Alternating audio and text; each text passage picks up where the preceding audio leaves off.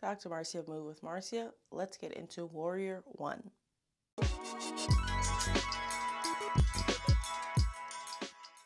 Let's get into a standing Warrior 1. So Warrior 1, the hips are closed, meaning, meaning facing the same direction. One leg is forward, one leg is behind. The width you could play around with, the arm placement you could play around with. There's a few things that are pretty standard no matter what you choose. If we're going left leg forward, right leg back, the back leg is at an angle, and you can see my foot. The front leg, you're gonna go knees over the toes, and if you could see your big toe, from where you're standing here, hips closed, then you're probably in a good alignment with the knee. You want that to be straight.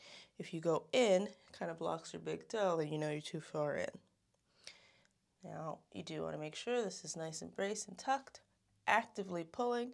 If I relax, I, I want to go this way. So I might have to actively pull myself and force myself to stay hips closed.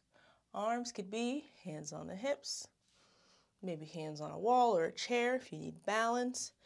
Only one arm up, both arms up. You could go with cactus arms. You could go with locust arms. Possibilities are endless as long as you understand the idea of the legs. And again, the width is up to you. This will be harder or easier depending on where you're at. But if you're struggling there, then narrow the stance. And I'll show you from the front so you can see the knee alignment what I mean. So right now, ooh, I'm square. Boom. Knee, I could see my big toe. When I can't see my big toe, come up. So pay attention to what your body's doing and where it's doing it, and you'll be all right in that warrior one. Hit that thumbs up if you're into this content, these tutorials, you want more, subscribe.